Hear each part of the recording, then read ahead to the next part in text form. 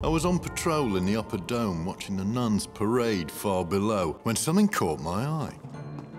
One of them broke free from the herd and made her way to the Whispering Gallery. Only the good Lord knows what she was doing up there. See. But she was never going to get away with it. Not while I'm Vice Deputy Head of Security. Oi!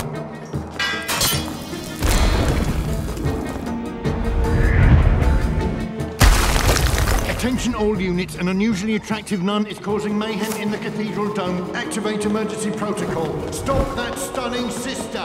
I set off at lightning speed.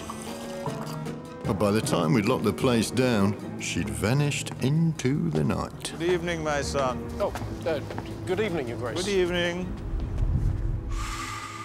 Most beautiful woman I've seen in a long time.